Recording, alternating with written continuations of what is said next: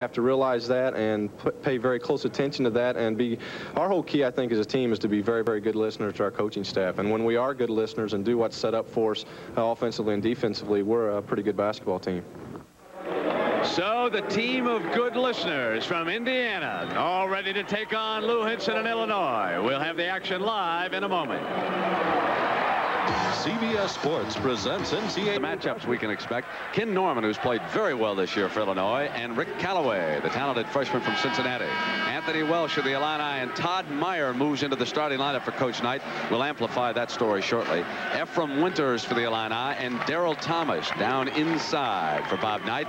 Bruce Douglas, talented defensive guard. Winston Morgan, good Indiana athlete. And Glynn Blackwell, left-handed, a shooter for Lou Henson. And, of course, one of the leading scorers in the country, the All-American they'll have to watch. Billy, let's uh, go into Bob Knight's lineup change here today. Todd Meyer moves in, and of course he took Andre Harris out. Why was that? Well, Andre Harris wasn't giving Bobby the defensive uh, intensity that he wanted. It wasn't getting the concentration that he wanted, and Bob is the kind of guy that will go to lineup changes at a minute. So it, it, may not be long before he's in there because he's a good athlete, and going up against Illinois, you need good athletes. Speaking of going to a lineup at a moment's notice, people in Champaign-Urbana remember last year, that was when Knight started the freshman when he went over there. Welch with the first shot of the game, rebounded by Indiana, and they will come down now with the ball. And Winston Morgan yanked it away, and he hits Alford. Watch how Alford cuts without the ball. That'll be the key to the Indiana offense here this afternoon. Straight man-to-man -man by both teams. They mirror each other in the way they play. They both use the passing game. Both play very tough man-to-man -man defense. Thomas going inside, drew the foul from Norman. Thomas does not have the size of a postman that you would normally think of, but he's really a power forward playing in the post. He moves so well, he's so quick, and he's powerful on the inside, so it's very difficult to guard him if you're used to a man of that size. Thomas is playing with a very painful ankle. He twisted it, and that has slowed him somewhat in the pivot. He stayed after practice yesterday to work on that move that we just saw. They want Thomas to try and be aggressive here against this talented defensive team of Lou Henson's and get to the glass as frequently as he can. Good free throw shooter. You'll see the Indiana team in constant movement in their passing game. They don't want to set anybody posting up down low, just standing there. They keep them moving. It's tough for the defenders to stay with them. Winters going to the glass. Now, he was scoreless against Ohio State. No Schneid here this afternoon. He takes care of that early. Efrem, uh, an outstanding power player on the inside. Calloway, the talented freshman. Again, good movement without the ball. Good penetration by Winston Morgan. Indiana leading by two. First turnover of the game. Calloway has Alford ahead of him. Nice. He did a nice job of bringing the defender out to him before he went to the pass excellent play on the steal. He really could have passed the ball to Alford, but he didn't get the right spacing. Had a defender in the way. Perfect ball handling.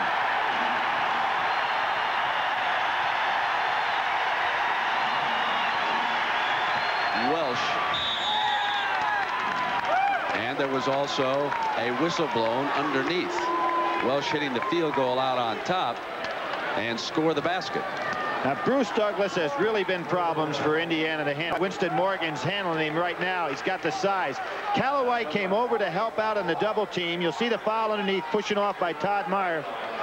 But when Calloway came over to help out, that allowed Welch to be wide open. You've got to give up something if you're going to play this kind of defense. Bobby Knight's going to give up the outside shot.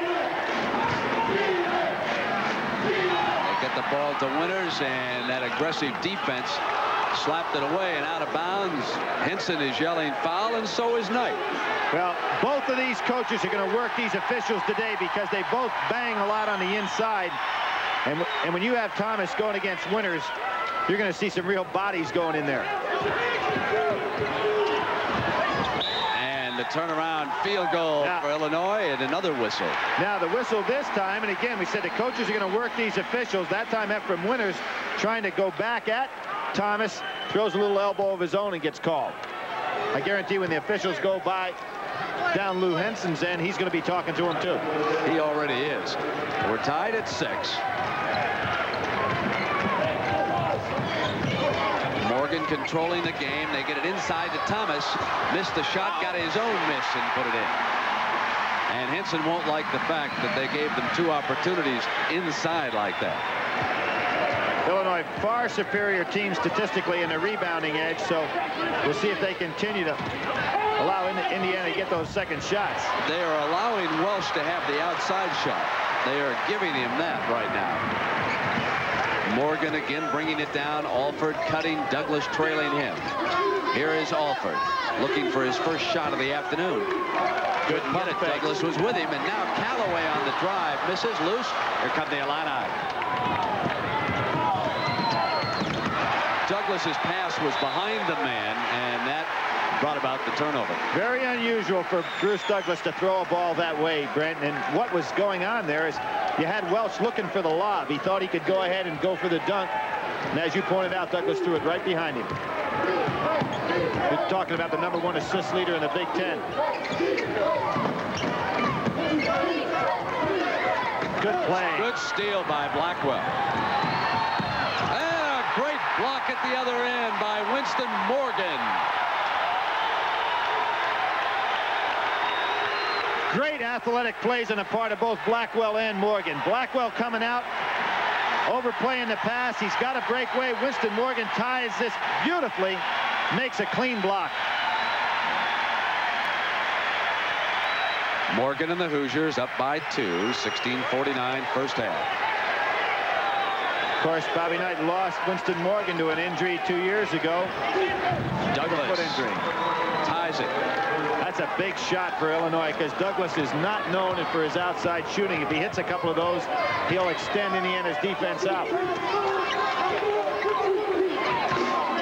One of the best defensive guards in America is Bruce Douglas, and he's on Alford, so quite a matchup.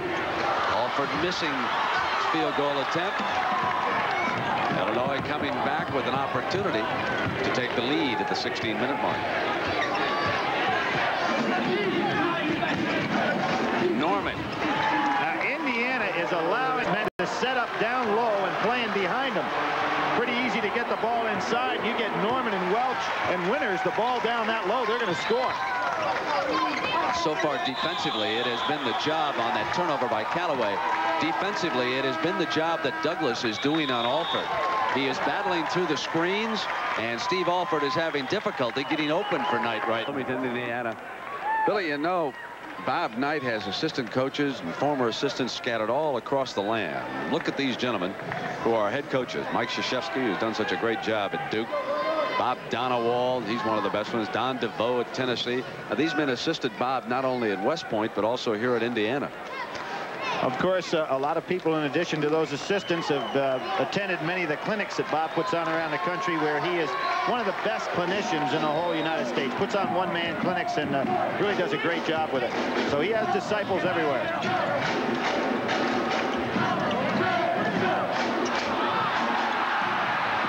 Blackwell holding the ball a bit too long for the coach who yelled at him. Gets it back. He's a fine outside shooter. That's a dimension that Doug Altenberger, of course, gave uh, Illinois with him down and out for the year with an injury. They've got to get some outside shooting. Meyer coming out high. Oh, there's a push off by Alford. Knocks Douglas down, gets a wide open jumper. Doesn't hit it. But an offensive rebound by Thomas who scores. There was a push off by Steve Alford. He's a lot tougher ball player than you give him credit for. He's got that choir boy look, but he plays hard nose. Douglas backing in, and this is something that Bob Knight does not want to happen. Welch maneuvering for his jump shot. And what happened there, Brent? If Douglas is going to back the defense all the way inside the foul line, the defense obviously in a good position to run their offense. Knight calling Calloway over for a word of instruction. That's why he's late coming into your picture. Douglas is going to be sore when this game is over. Chasing Alford all over the floor, running into screens at every occasion.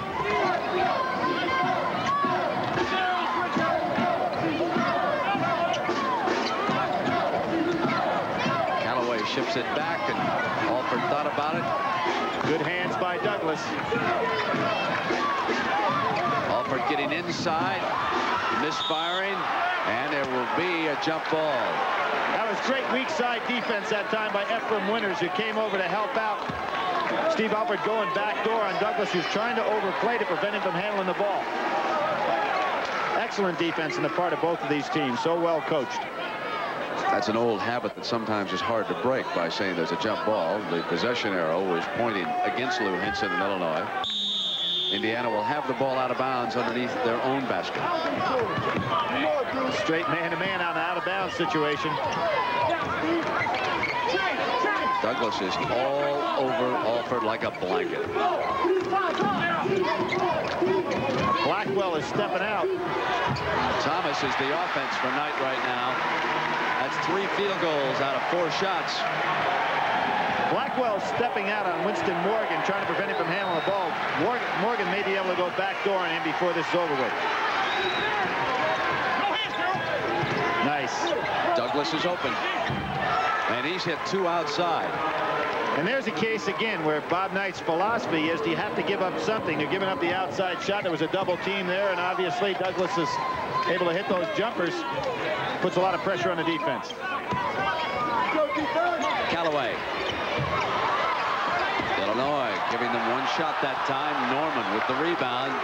Henson signaling the play as the offense comes past the Illini bench. Nice reverse. turns back from the baseline. There was a foul as Winston Morgan yanked down the rebound. Welch hitting kind of surprised if Welch was going to go one-on-one -on -one there that Norman didn't go ahead and move away and set a screen to give him a little opening because in effect by Norman staying right in the way Welch didn't have any room to maneuver. Give you an idea of how well Douglas is playing right now. Steve Alford is one of four. And that was a layup on the fast break.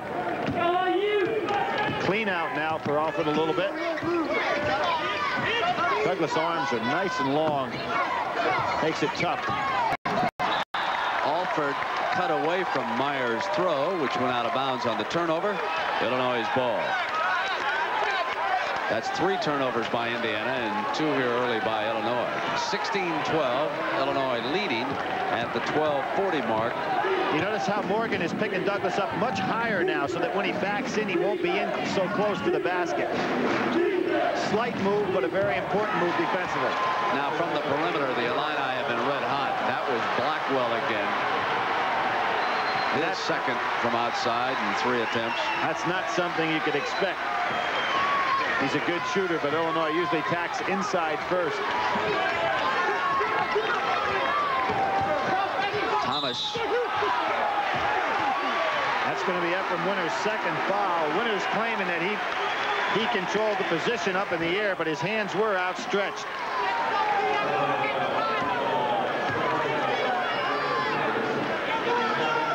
Lou Henson really upset, but he's got to go. He's got to go to the bench.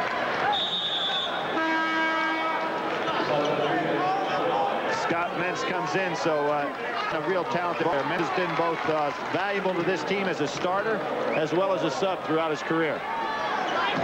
Winters sits down.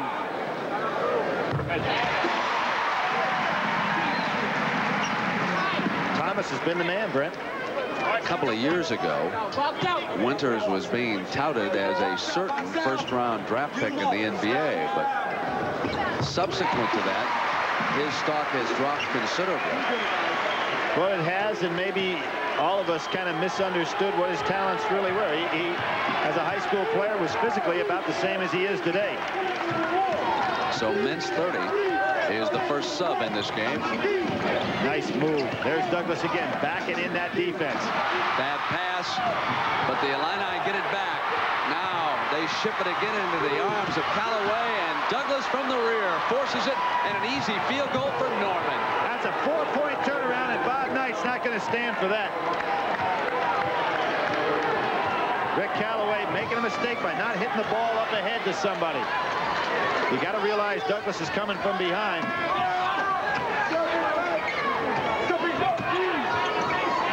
Well, you like to see well-drilled teams, and both of these really have it. Defensively in the middle.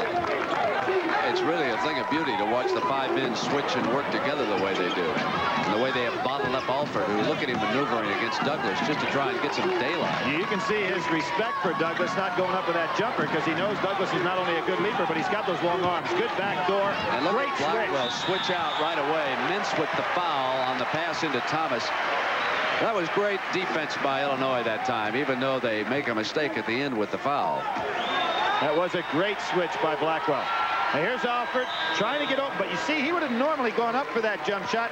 He realizes Douglas has got the ability to block it from there. Now, Douglas gets lost in the pack. Alford's going to take him a little back door. There goes the back door cut, but here comes the great switch by Blackwell. Well, you want to see how it's supposed to be done. That was it right there. When we come back, my man Andre Harris is checked in for Knight. I'm looking for an explosion from him. Three straight in the Big Ten. Their toughest loss, well, that came against Michigan. It was a buzzer beater for the Wolverines.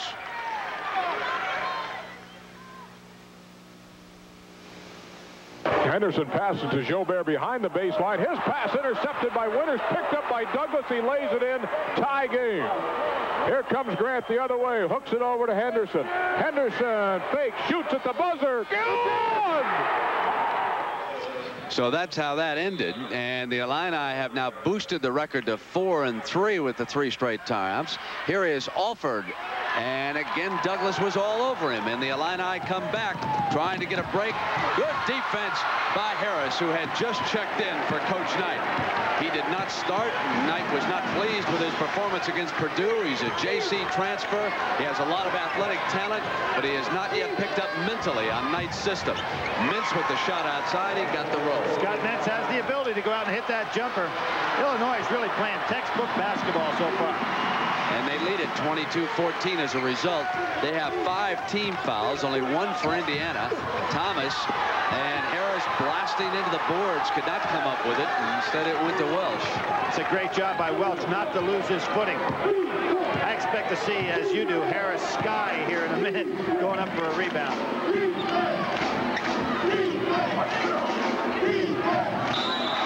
Welch traveled.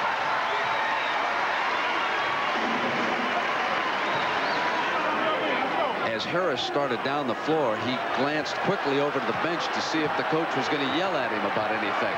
Uh, I think he'd be all right here in a second. He's really concentrating right now. Here's Thomas. And Harris couldn't control, so this will go over to the Illini on this jump ball situation. Good rebounding on the inside. Pretty good block out position. Illinois probably going to have to start going back inside a little bit. They've been winning with a perimeter shot. Norman hasn't touched it much. Meyer doing a pretty good job. Let's see if they don't try to pound it inside. It is that outside shooting, Billy, that has built this lead here with 9.30 to go in the first half.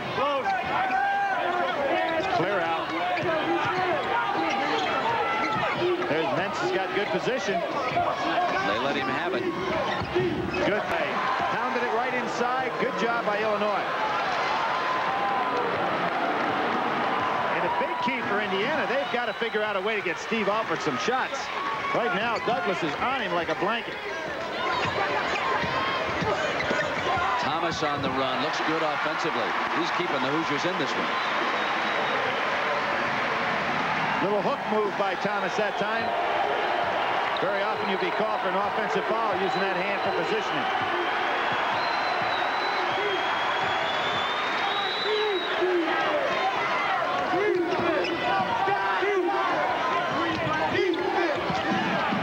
Way downtown. Blackwell Oh! by Welch. And Knight won't love Welch coming inside and not having a block out. Exactly. No block out at all. Welch really going to the roof on that play. Morgan was fouled as he began his assault on the hoop. That's the first personal on Blackwell, and Wysinger will check in here for Coach Henson. Now, this is a matchup problem, Brent. When you bring Wysinger in a game, he's going to be on Winston Morgan. Unless they're going to try to switch Douglas over there. And, and it really causes a problem. No, he's going to play Wysinger on Winston Morgan. Morgan should be able to do some things inside. Again, there's those hands of Douglas. And he got back inside to help out and knock the ball free. Good hustle by Thomas. Saved it for Indiana. Winston Morgan. There's a case where maybe Douglas tried to do a little.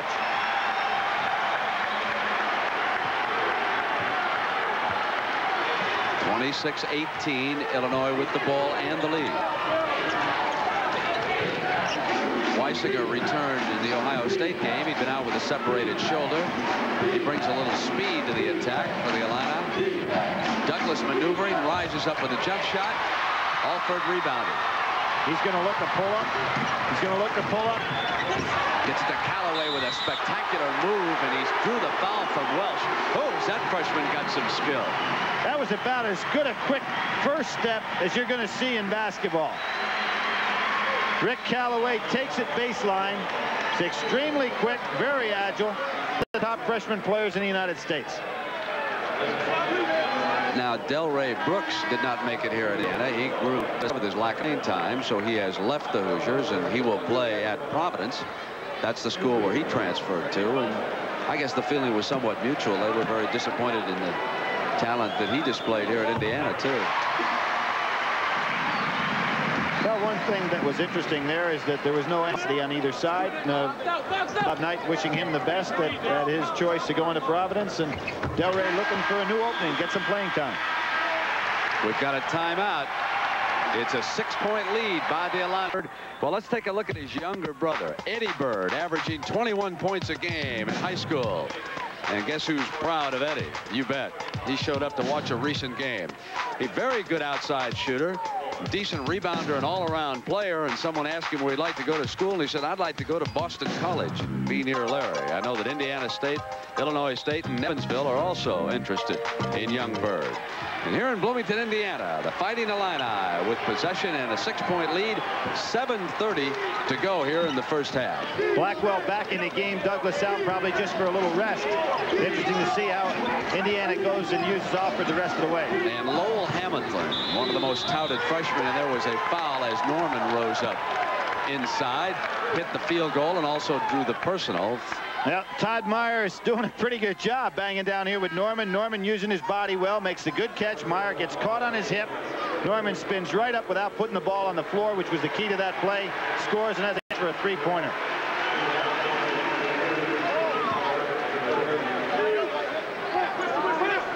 Norman is the player on this team who has shown a great deal of improvement in the last couple of years. Here this afternoon, he's three of, he's four of four from the line.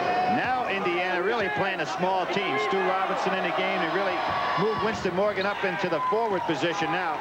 So you've got Robinson and Alford in the backcourt. Robinson taking a point. Well, let's see if Blackwell. Blackwell is picked off almost immediately by a Thomas screen. Winston Morgan rebounded, and the ball is blocked. Wysinger for Illinois. Norman on the right wing, hustling back, missed shot. Rebound Calloway. And now it's Robinson who's checked in for Knight. Pressuring the Illinois defense if they get some quick shots here for Alford. Thomas wants it inside. Makes a move. Cut off from the baseline. Hamilton, the freshman from Chicago, was there. Now it's Norman at the other end for the Illini. Lowell Hamilton, an exciting young athlete. Outstanding player in Illinois last year, led the team to the state high school championship. Is coming along slowly, but once he gets his whole game together, it'll be a real factor in the Big Ten. Thomas loses the ball out of bounds. Illinois has built an 11-point lead at the 6:19 mark. Right now, Brent, Illinois really, ha really has a superior front line as far as rebounding. They have better stats, as I mentioned earlier, than Indiana, but particularly with this club on the floor, Indiana's going to have a hard time off the boards.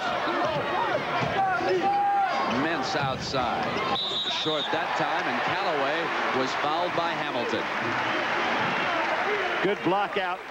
Now here, watch Alford try to maneuver. Now Blackwell, just being assigned with Douglas out, he's having a heck of a time. well, he is, and Steve Alford got the double screen on the opposite side just before that, but Blackwell just staying right with me. Maybe a little bit too close to him here.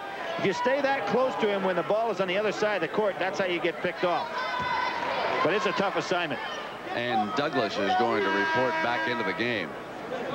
What, I, what we had here was a very good substitution pattern by Lou Henson. He was able to give Douglas that little breather, make sure he didn't get into foul trouble when he started to reach, being a little tired. So now he comes back in rested, and he can start chasing against Steve Alford again. Douglas rebounding the missed free throw. Douglas averages two and a half rebounds a game. As far as the floor game player, defense, passing the ball, and rebounding, it's about as good a guard as you're going to see in the college level. Hamilton. Calloway, two big rebounds.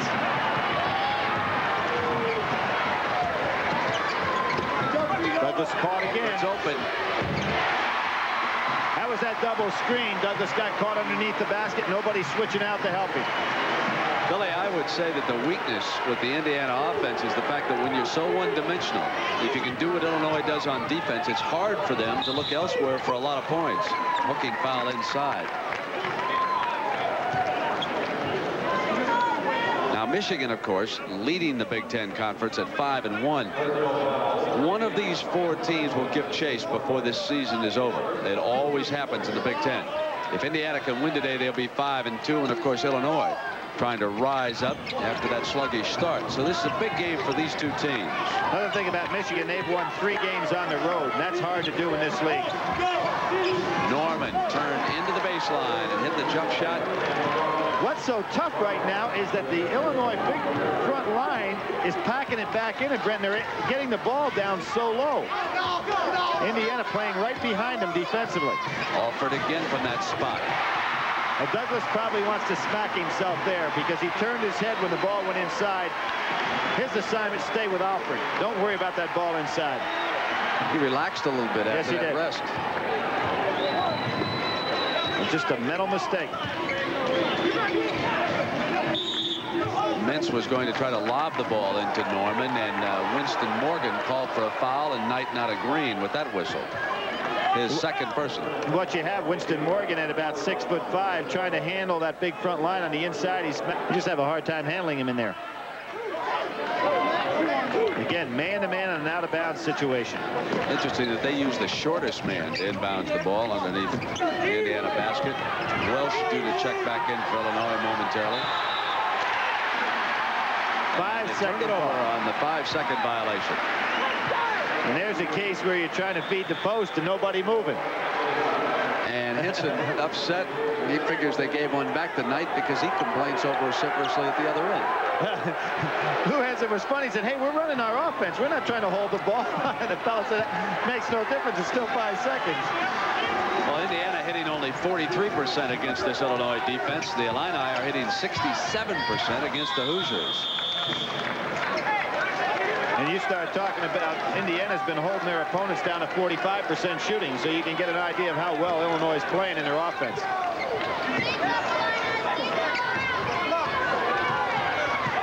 Robinson on pull-up. He was fouled by Wysinger. That was a clear-out situation where everybody was on one side of the floor. Wysinger couldn't get any help. Good job by Stu Robinson. See, there's not a person over on this side of the floor. Meents had too far to go to help for the double team. There's the hit on the elbow, and that's the easiest way to stop a shooter. You hit him on the elbow, and if the referee never sees it, he'll never score.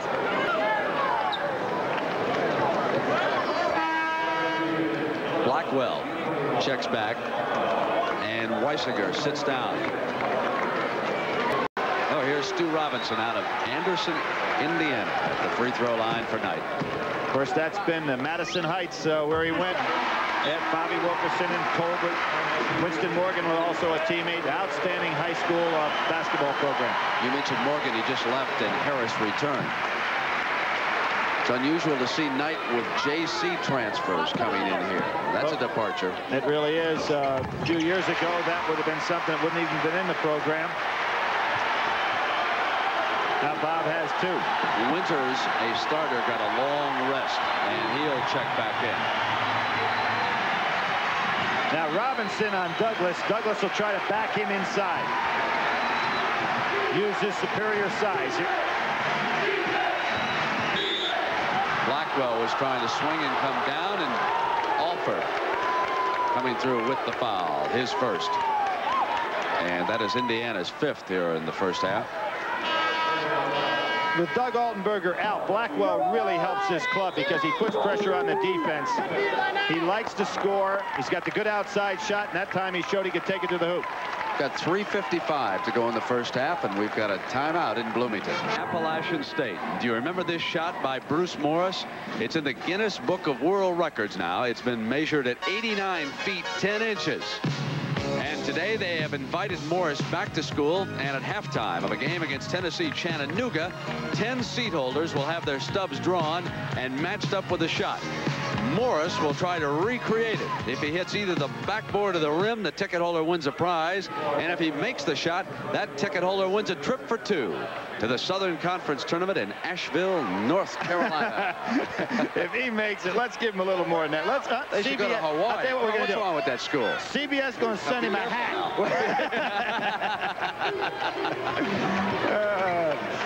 The Illinois Lady, 33-26. They've got possession. Douglas is 25, and Stew Robinson on him. He gets it inside. The winners have returned it. Blackwell. Norman with a hand on it, and it went out of bounds, so it'll be Indiana. On the second thought, Brent, if he makes that shot today, you and I are going to send him to the Final Four. Oh. All right? I'll pick up the tickets in the room. You get the airplane flight. Make him our stats man. That's right. Hey, Illinois goes a little zone. 3.24 to go. Robinson.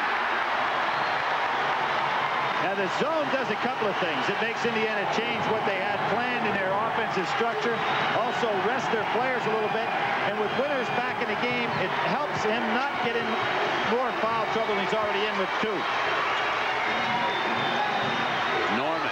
Good block. Harris. Calloway rebounding. Indiana can pull to within three. They showed the zone. Now they're right back to the man-to-man again.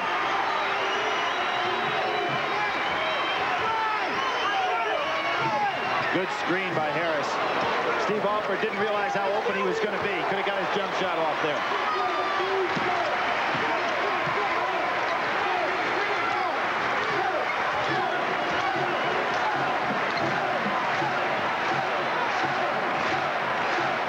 Still 12 seconds left.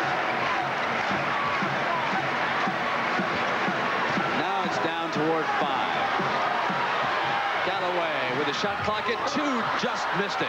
And it's Illinois rebounding. Blackwell with possession. Didn't smoothly come out of there, so he wisely held up. Douglas and Harris rebounding. Robinson had broken free at the other end, and Harris did not pick him up in time. Good position. Nice defense. And Robinson is fouled.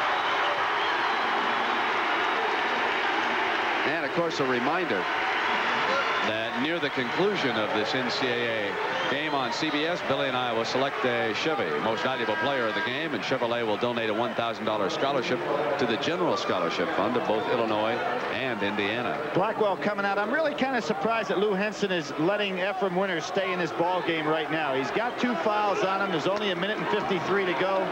Don't want him to go in there at halftime with three. Douglas sits down. Obviously, he doesn't want him to pick up another foul.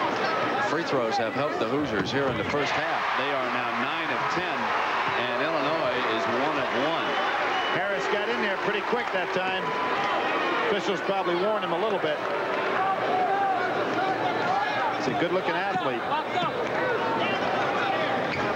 That time Norman was in too soon. Harris faked him out. Nothing called. Now the Illini have not scored in 3 minutes and 18 seconds.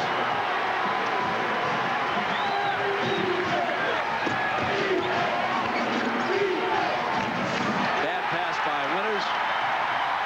There's a case, Brent, where a lot of players get in a position, they forget that they still have their dribble left. You know, Winters acted as if he had to get rid of that ball. If he'd have just put it down on the floor and relaxed a little bit, he'd been all right.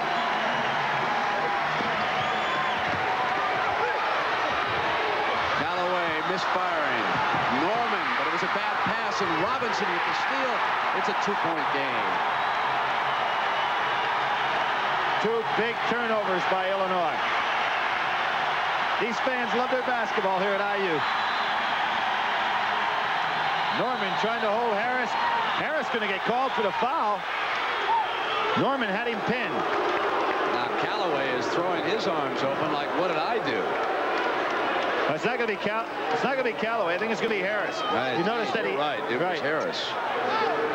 Harris. They called him for pinning his man, who was Norman.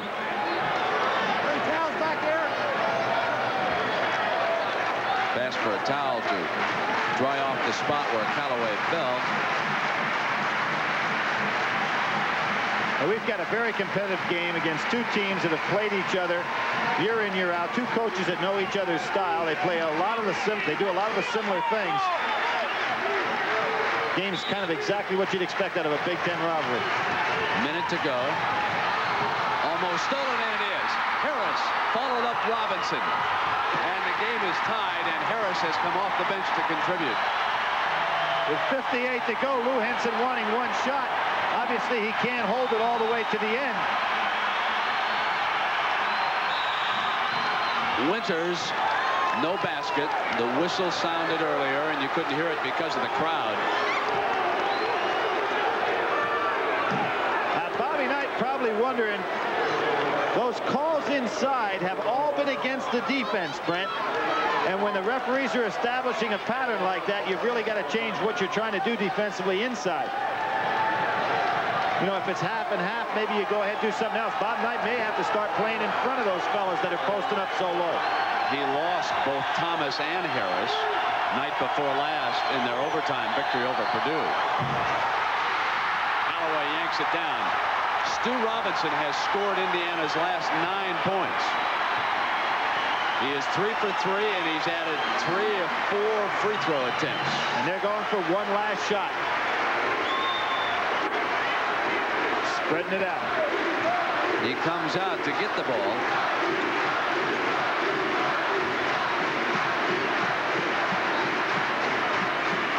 Blackwell is dogging Alford. Picked up his dribble in a bad spot. Good help by Harris. Harris with a great pass to Alford. Three-point play. Oh, God.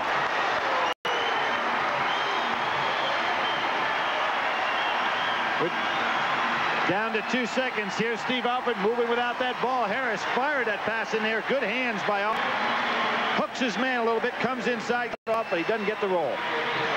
I think Alford thought he was further in underneath the basket than he was. He almost have taken that pass as he touched it and went up with a layup. He continued on through and he gave himself a much more difficult shot. Mention Alford scoring. He's in a pretty heated battle with Scott Skiles from Michigan State, who has had an incredible year. He was the player of the week last week in the Big Ten. Just playing excellent basketball. He made an interesting comment. He said, if Bruce Douglas is the best guard in the Big Ten, I'm the best guard in the universe. I asked Steve, where does that put him? Great first half. And Indiana comes hustling back. Not allowing Illinois to score a point in the last 5-11 of the half. 12-0 run. And they were helped considerably at the free throw line. Well, one of the things Bob Knight pointed out yesterday at practice, they have got to get to the free throw line. They're doing that by taking the ball hard to the hoop. And Winters with those three fouls for the Illini, who shot well from the field in that first half, hitting 57%. And points off of turnovers, Indiana was able to pick up a six-point edge in that department. As for Steve Alford, who we've been talking about, he was three of eight for the Hoosiers, total of seven points. Thomas was four of eight and 12 points overall. Douglas hawking Alford right away, and they get it inside to Thomas, who goes to the glass. And he sure has looked good. He really does. He's quick on the inside. He uses his body well. Good turn-in move. Efrem Winters had him on the hip. Couldn't handle him. Indiana only shooting 46% the first half. They're the third leading field goal per shooting team in the nation, percentage in the nation. Same deal for Winters, only loses control. Tracked down by Norman. Norman comes back inside, and he maintains his hot stance. His 15th point of the game, doing a fine job on the inside. He is 7 of 8 from the field here this afternoon. Alford with with that quick shot after flashing into the key. And he comes off those double screens. It's tough, so tough. And that time Douglas had excellent position. Still couldn't stop him. Douglas.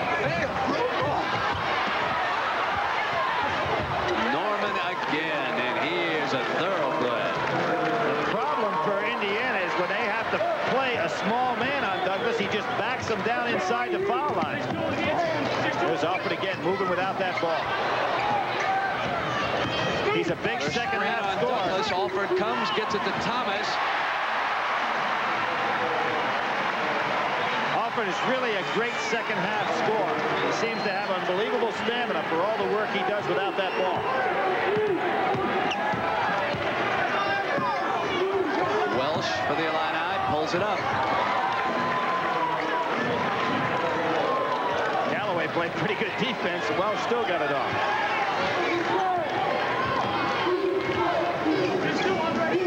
Alford. Winters looking outlet, holds it up. There again, you Dribble see, across. Brent, you see Winters still had his dribble left. He shouldn't have had to worry about being off balance. Just put the ball on the floor and get yourself reorganized. Plays a little stiff.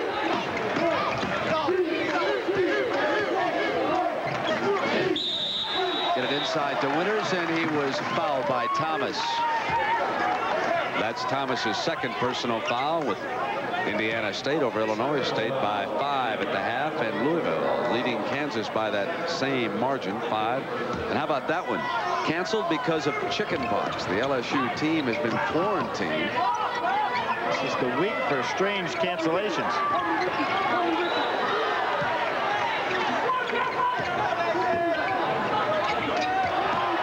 Might have been walking. Gets it inside. Norman passing to Winters, who didn't get a handle on it right away, but it worked out well for the Illini. Brent, I wonder if these referees have ever heard of a three-second violation. I mean, the guys are planting themselves in the lane forever. Good athlete. Norman goes up, gives to another powerful athlete, Winters. He's been in that lane all day. We haven't had a three-second violation yet in the game. Difficult to defend a man if he can camp down inside the lane for a long time.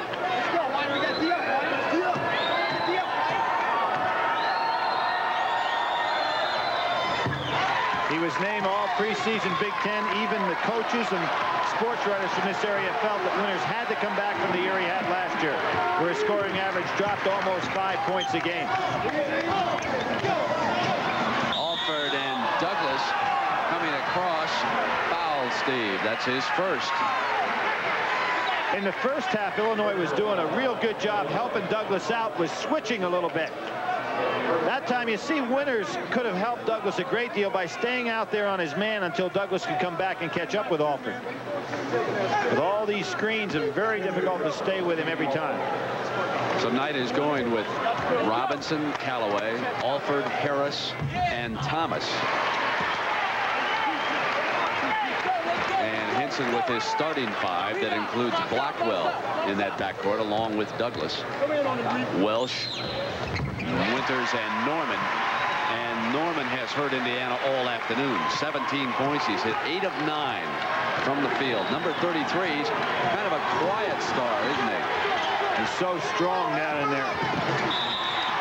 Jumping out, Robinson with a foul, and the referee looking back towards Calloway now. And Calloway is going to be assessed that personal. It's not going to go against Robinson. That's Calloway's first. That's a big turnaround because Indiana was off to the races with a layup had they got that ball. Blackwell.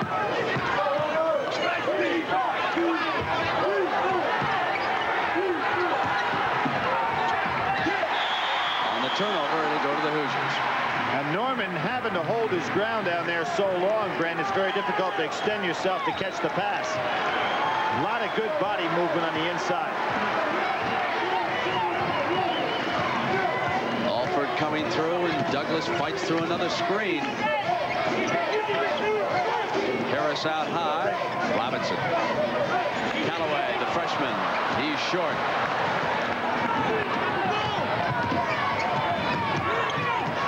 Douglas over to Winters. Harris got a hand and knocked the ball out of bounds. Lou Henson wants to speak to Douglas. Douglas on the year coming in this game, 118 assists, only 50 32 turnovers. You're talking about that's a great go there for a backcourt man that handles the ball as much as he does.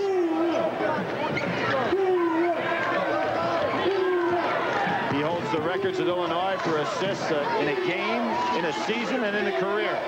Harris taking Norman in low. Winters got the bounce. Winters has good range.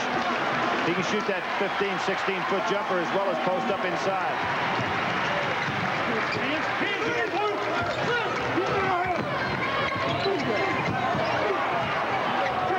Thomas being forced out further from the basket here by Winters.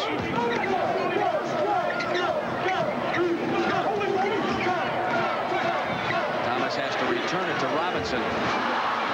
Winters rebounded.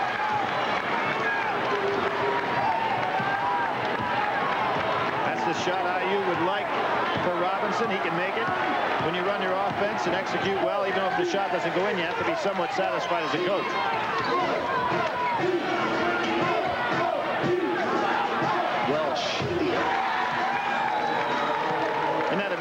Team runs their offense to perfection, misses the jumper. The other one doesn't do anything but take a shot, goes in. Indiana has missed three straight shots.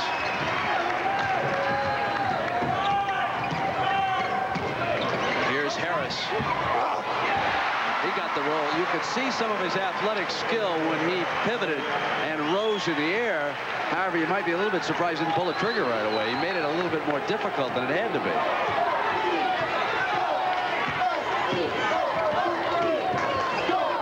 Norman and Harris just battling with their bodies inside. Welch gets it back. Jump hook rolls in. You know, we really have both teams playing, Brent, without a center. Without a true center. We've got six forwards in the game. So they're quick in there. They've got a lot of good moves. All can leap fairly well.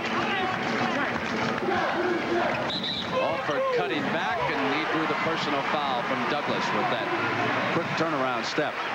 Excellent spin dribble. Another one of those son of a coach. Steve Alford played for his father. Let's see, we saw Lebo, That's right. North Carolina, Hale, North Carolina. All intelligent players, too, as a result of it. We'll be right back. and fun of Chevrolet in 86. Sears, where you'll find great values. There's more for your life at Sears. And by Lowenbrau, brewed in the great beer drinking countries of the world. This world calls for Lowenbrau. Amidst all the red, there is a touch of orange. Mary Henson, the wife of Illinois coach Lou Henson, and she makes all the trips to see the Fighting Illini. They They have both four children, a couple of grandchildren. They'd both play well in Syracuse, too, wouldn't they? Thomas. And it's a two-point lead by the Illini.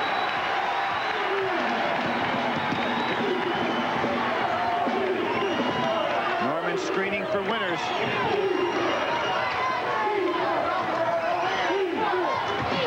Norman Great rebound. Winters with a strong and Harris with the goaltending. Good call by the official. That's a great rebound by Efrem Winters. He was actually fouled, pushed out of the way, and still was able to hang on. Bob just working him a little bit.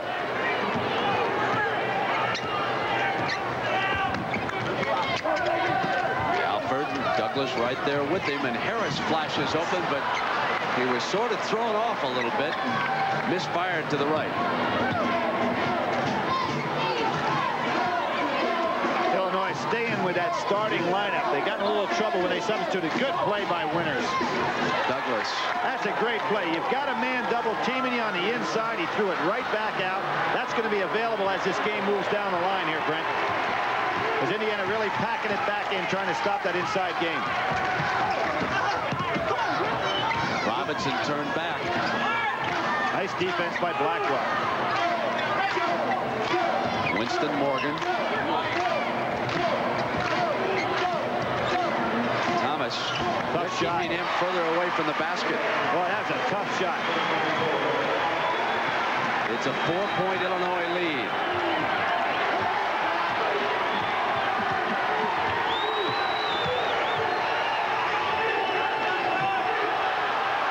Thomas slips. Good play by Thomas. Got it to Norman, and Harris rejected it. Oh, Harris is all over the place inside. I'm not sure he knows who his man is, but he's trying to pick up the world.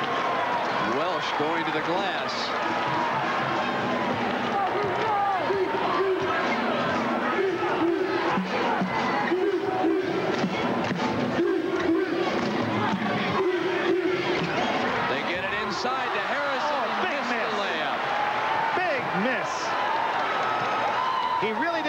Where he was, Brent, when he turned to grab that ball. That's a big miss.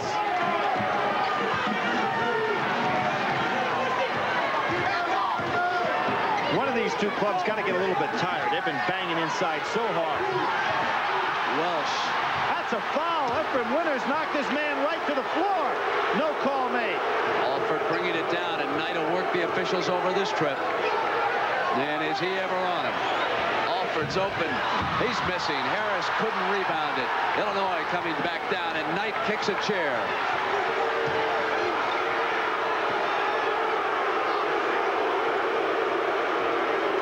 What happened? Efrem Winters just knocked Thomas to the floor. They're still banging inside.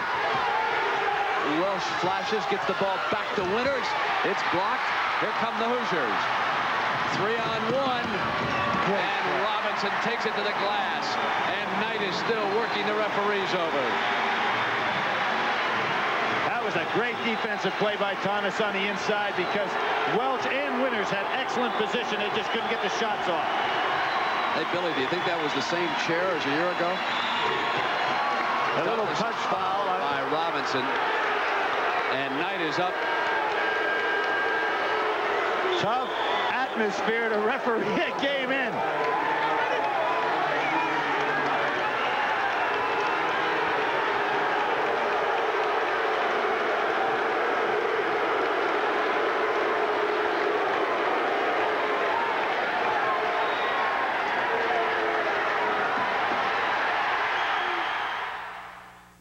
Technical foul called on him by Randy Drury. And as Billy Packer was saying to me, took a while before the technical was called. He's, he may leave the arena, but in my opinion, Brent, the referee called that technical a long time ago. You can't let a coach come out on the floor and start talking to you like that. And if they're going to get any credibility, they've got to start slapping those technicals on people. I'm not saying that they've made every call correct here, but you've got to have some presence on the floor if you're going to referee a game. Now, Knight had not been kicked out. Hits the first, misses the second. Illinois leading Indiana 55 to 50. This was the conversation right after the timeout. I mean, no technical was called here.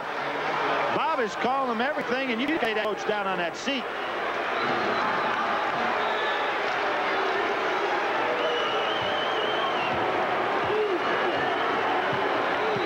Illinois gets possession on that foul.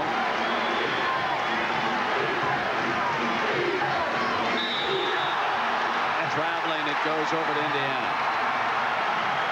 I think it'd have been a good idea there for Illinois to punch the ball inside and see if that that referee would have called it again.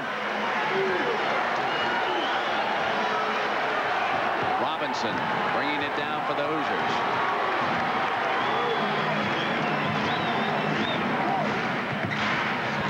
Thomas rimmed out. Boy, Norman's having some fine game. He's a JC transfer also. Had to hold out a year. Came on strong at the end of the last year when Meents got hurt. Got a chance to start. He's got good position. They dump it to Norman. Harris is with him. Robinson helping out. So they move it around the horn. They try Meents on this side. Here's Welch getting it over to Douglas, who ships it off to the corner.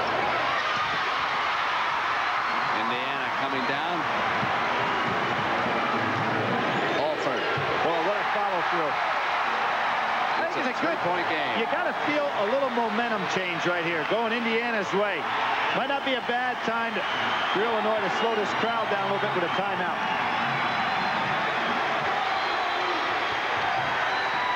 Norman spins it off to Meents, and he is fouled. Harris was there in the middle of the lane as Meents came down and that is the third personal on Harris. It's a good job by Meents. He realizes that Harris is such a great leaper, and he just used his body held the ball up a little bit to draw the foul rather than try to lay the ball up. Had he shot the ball, Harris would have picked it off. Blackwell checks back in for Henson, and Wysinger sits down. The Blackwell-Douglas combination in the backcourt has really proved problems because they've got good size back there. Indiana has a little matchup problem.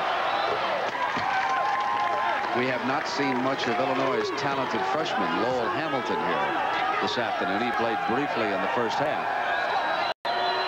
Well, what's that deal? The best thing about freshmen, they eventually become sophomores, and I think that's what we're seeing a little bit there by Lou Henson. Doesn't want to put him in in a critical situation. Illinois leading by four, 9-10 to go. They're giving Harris the shot, and he passes it up. Robinson. Robinson having a big, big game. Had a super NIT series last year before Indiana dropped that final game to UCLA. Played well both in scoring, defense, and assists.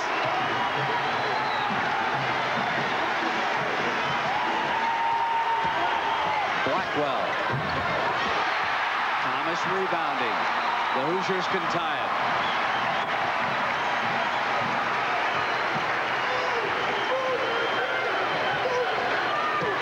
And Thomas, he is fouled. Beautiful spin move by Thomas. Meents's second personal. You have Welch asking to come out. Looks like he needs a rest.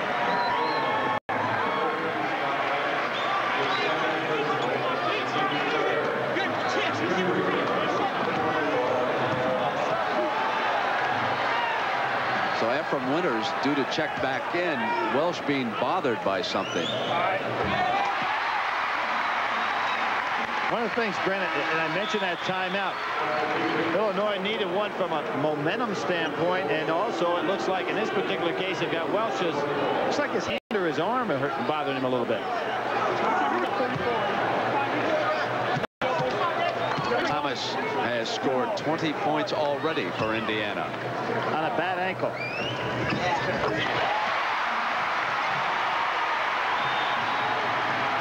Deadlocked at the 824 mark. And that sea of red rises here. Douglas off the fake. Winters rebounding, knocked away. Winters knocking everybody down, no foul.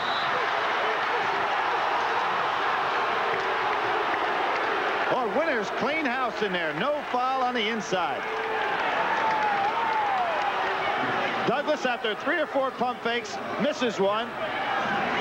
Good rebound by Winters on the inside. He gets it stripped. Now watch him just knock people down by Efrem Winters. No question about it. Instead, it's called on Thomas. Efrem Winters committed maybe two fouls on that occasion. Referees not doing a good job with the inside play today, in my opinion. Offensive rebounds in the second half, seven for Illinois and none for Indiana. Norman breaks the tie. You know, one of the things, too, Brent, a lot of teams in the Big Ten go inside with this passing game, and it is a difficult game to referee, but the referees have to get on a little better control than they are when a man just knocks another one to the floor. Well, that precipitated the chair kicking incident Exactly. a while ago, the first time he cleaned house down here. And now, for the second time today, Illinois goes to the zone defense. Trying to trap a little bit. Alford. Indiana can just be patient, Alford's going to have a jump shot. Morgan. Stew Robinson got it back. Alford can get a jump shot here. They just have to be patient for it.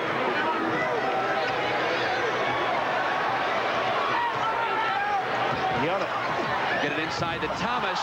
Norman came through. They get it out to Alford. Misfires. No goaltending. No foul.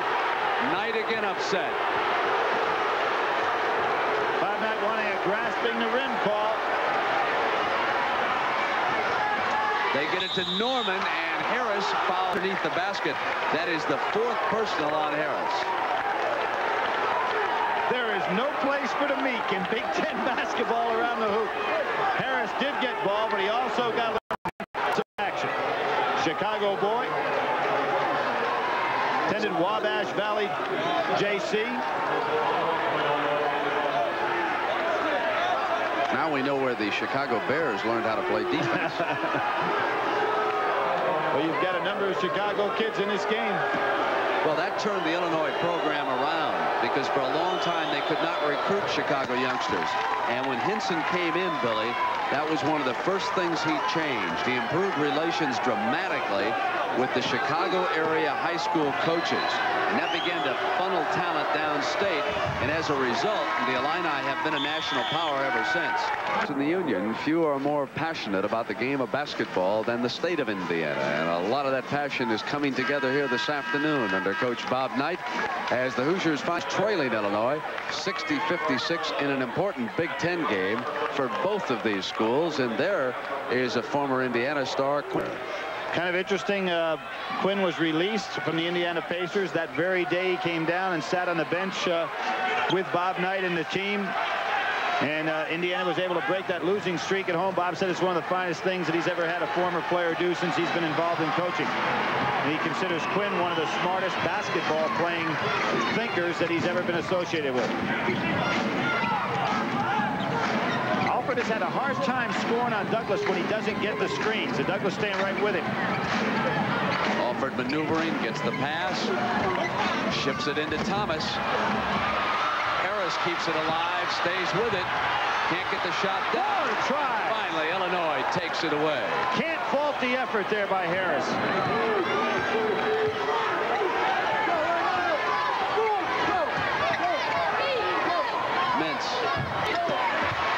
Robinson. Illinois put that shot up kind of quick. It seemed to me they ought to use the ball a little bit more, use some time on the clock. That's a Meents foul. Trying to get position. Three personals on Meents.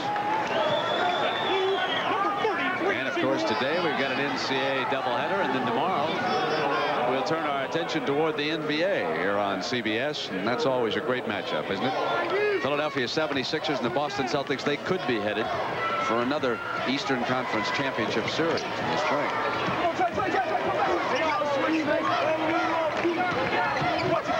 Bounce to Thomas. He's had a spectacular afternoon offensively. He's 9 of 16, 24 points. I mentioned he had that bad ankle, and you did at the top of the show also, Brent. He hasn't obviously then been in that good a physical shape because he hasn't been able to run, but still he's gutting it out here today.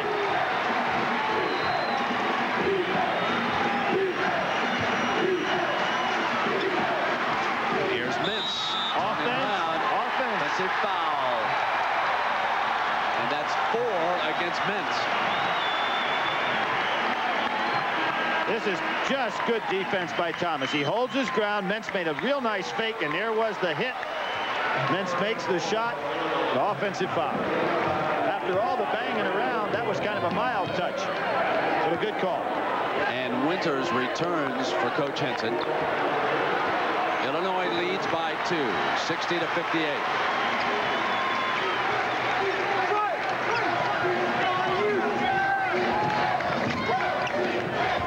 Lob it toward Harris. It was a little short. Norman wrapped it up. Really not a good idea. Plenty of time. Timeout by Henson and the Illini. They lead it by two.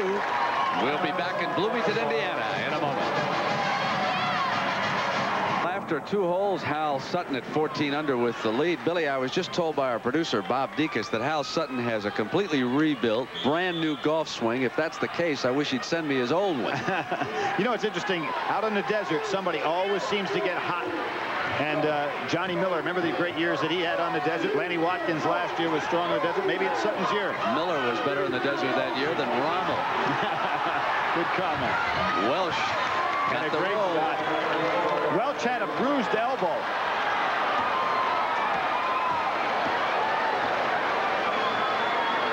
A four-point lead at the 450 mark. And Illinois goes back to the zone again. Now, if Indiana will be patient, they've got to give Steve Alford a chance to get off a jumper against this.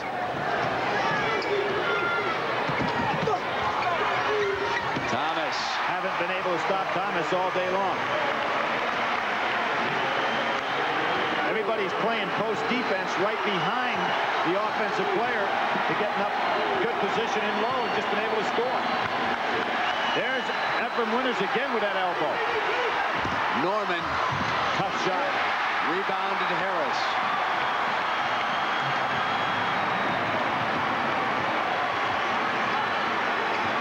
Illinois shows the zone and they go right back to man-to-man. One good thing about Alford, he has not tried to force bad shots, which is a mark of a real good player.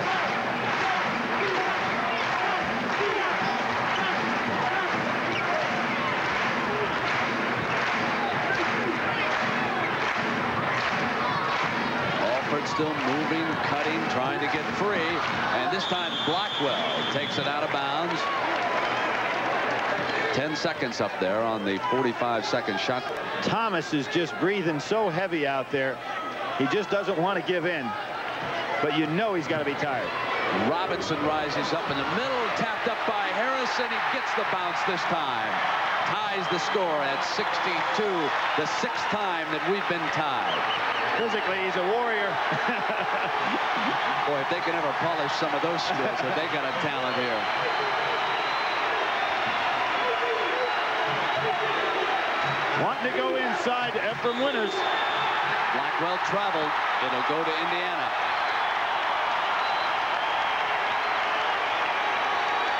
Three fourteen left.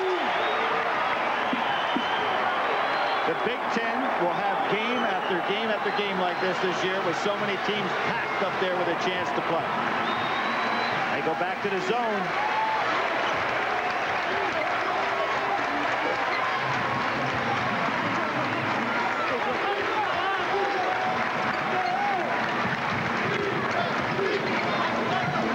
Douglas very much aware in that zone where Steve Alford is at all times. Surprised Steve doesn't break down to the corner. Thomas again, and he got Norman up in the air to draw the foul. Came down hard on Thomas's right shoulder. Norman that time was laying off Thomas and figured maybe he could come across the lane and block the shot. He was up in the air. And Thomas such a strong player. 24 points for Thomas in this game. He's perfect at the free throw line this afternoon. Seven straight. He's from the same high school as Isiah Thomas. Not related, however. Good release on that foul shot. And IU takes the lead. 2.35 to go. Winters wants it. Rises up, and Harris knocks it out of bounds with a block shot. And what Harris is doing, he realizes that Winters is kind of like premeditating that he's going to put up the shot. So Harris can come all the way across the lane. Timeout, Bloomington, Indiana.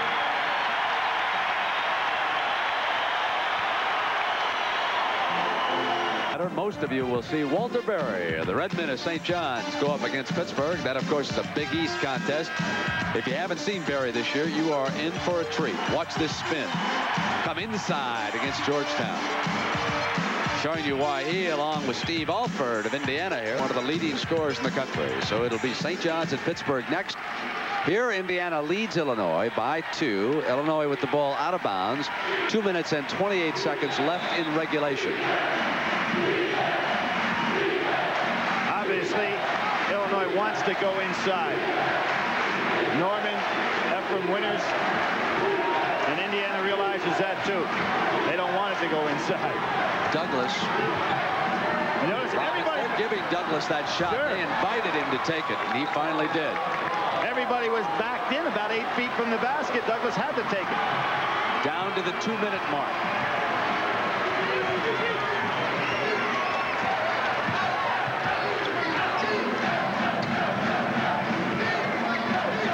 Still cutting and moving and trying to get free. Now he's got possession, and Douglas has hounded him throughout much of this game.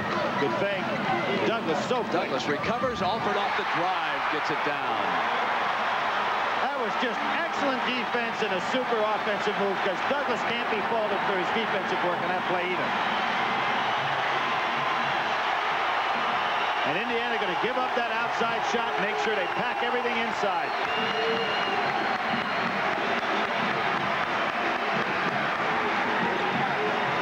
Here's Welch forcing one up. And Norman comes to the glass with the field goal. I'll tell you what, Illinois was lucky that time, but luck is the residue of design. Bad shot and a effort by Efrem Winters to keep the ball alive. Now, in the first half, breaks were all going Indiana's way. There was Efrem Winters tapping the ball over to Norman. He had excellent inside position, scores, and gets a chance for a three-point play. And Norman, who has scored 23 points and has played a fine this afternoon, shooting for the point that will give the Illini the lead. 111 pressuring the ball. Robinson brings it up on Blackwell. Alford cutting. Spins back inside. Now gets it to Thomas. Thomas rises up, and he's fouled by Norman. About the best thing Norman can do. Just make sure he doesn't get something off inside. Good move that time by Steve Alford to, to dish it off. Little two-man basketball here, and they got the man to the line. Screen and roll. Efrem Winters came over to try to help out. Good roll to the basket by Thomas. Thomas has scored 28 points. He's 8 of 8 at the free throw line today, so Alford got the ball in the hands of the right man. And Henson will diagram play off of this one way or the other. And Knight, of course, will go into some defensive tendencies, things that Indiana might use here defensively at the other end. Well, what you also have to think about now, Brent, is with 57 seconds to go, you want to have the ball in your possession for the last 45. So if you're Illinois, do you want to come down there and take a shot quickly? Get another chance to get the ball back. Depends on whether these fouls are made. Yes, sir. If you drive, keep your pivot foot down you want to use? Whenever you get it, you say Yeah, yeah, just move the ball. Just move the ball and uh, hit back and pick up. Hey. We can spread out.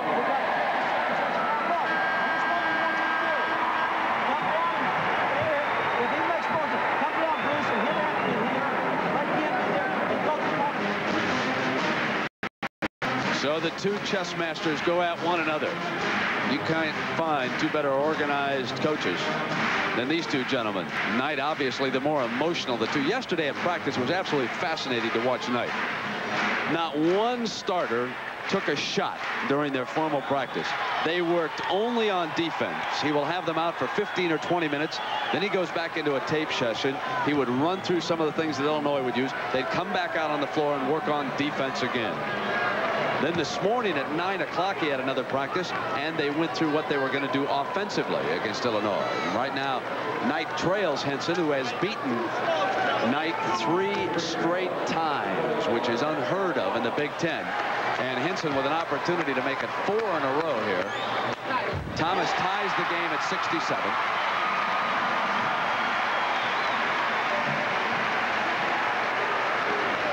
Thomas has had a super game. He's 10 for 10 at the free throw line. And he has put the Hoosiers ahead. If you're Illinois, I think you want to get this shot off so you can get that last opportunity. Too late now. Well spinning inside. And again he rises up with that shot and he is short. That's the second time that he's done that down the stretch. Now they will try to kill the clock. And Alford will keep it in his hands and dare them to foul him. And there's the foul. Bruce Douglas did foul. And boy, if you talk about a man you want on that foul line, Steve Alford, he has been tough in the clutch throughout his career. 90% free throw shooter. I'm surprised that Illinois didn't try to deny him the ball in the backcourt on the inbounds pass, that they didn't run right at him and make him throw it someplace else. They made it very easy for Alford to dribble the ball across with time running down. Now at the free throw line today, Indiana is 18 of 1. They've hit 86%. There is their 19th point at the free throw line. They have a 10-point advantage on Illinois at the line this afternoon. 31 seconds left. Oh, missing an important one. And Illinois with a trip that can tie this game. They come across the midcourt line. Douglas has the call from the bench. Oh, Douglas from the Predators. Yanked away by Winston Morgan. And the foul in the backcourt. Billy, I can't believe the shot selection by the Illini here in the last couple of minutes. Well, they had plenty of time, Brent. You figure they at least try to go inside one time. Instead, they come up and take the jumper in a hurry. The one man that I've got to have handle the ball in this situation is Norman. He's played too well for me. I mean, I got to say, you got to touch it. You may not shoot it, but it's coming through. We've got a timeout at the 17-second mark. Bob Knight and the Hoosiers with a chance to pull one out here.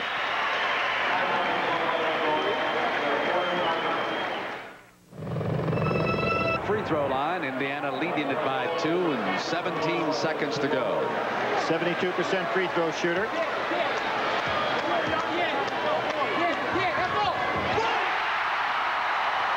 That should do it.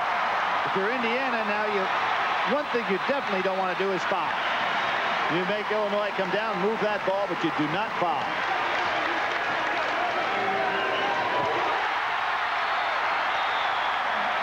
There's a four-point lead, and Bob Knight quickly calls another timeout. He wants to go over the fact that he doesn't want to foul. He wants to stress how to handle this defensively. If Indiana can hold on here, Billy, they'll move to 5 and 2 in the conference. They'll pull to within a half game of the Wolverines. And if you're Illinois, you've got 17 seconds to go. Obviously, you got to get that ball up court quickly. Go inside, try to get your three-point play, but get a shot off as quickly as possible. Then on the inbounds pass, if you do score, you either go for the quick foul, I mean the quick steal, and then try to foul because you can't let Indiana hold on to that ball the rest of the way. They get the three-point, they get a four-point lead. You've got to go in there to try to get a three-point play inside. And I think really in the case of Illinois, that their shot selection the last two times down the floor where they did have an opportunity to put themselves in a good position to win, they were kind of questionable. Welch took that tough shot, and then Douglas just threw up a jumper from the outside. In any case, two fine teams going after each other today. A very physical game inside. A lot of banging. And two teams that I think, Grant, will be tough to knock out when it comes NCAA tournament time. I mean, you, you know, to win a national championship, you got to beat people like this, and uh, and they are not easy. Well, Knight and the Hoosiers got to the line 25 times this afternoon. Illinois shot only 12 free throws. Those are the standings when we began. And you can see that Illinois would drop to 500 in the conference. Michigan's only loss to the hands of Minnesota. Minnesota, of course, going to lose one tonight by or tomorrow by a forfeit. Again, in case you just joined us and you're wondering what Billy Packer is referring to, the game against Northwestern has been canceled by Minnesota Athletic Director Paul Giel because of those impending sexual harassment charges against several Minnesota players. The official is over now explaining something to the Illinois bench. Might be talking about putting a player in the game. Blackwell was not in the game. He's going to make him go back with Efrem Winters. He, he, Blackwell did check in. Bobby Knight's trying to make sure that they didn't forget to, to check in a player.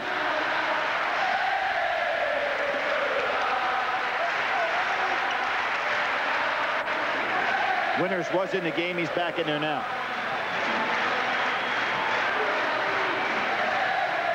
Good job by Indiana to pick up full court so that Illinois can't quickly get the ball down court.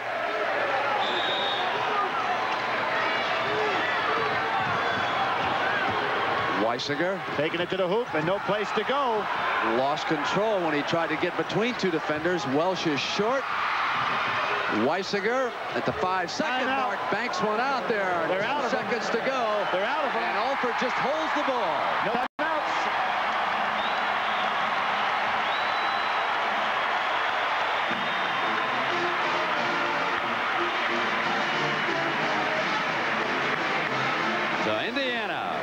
Illinois.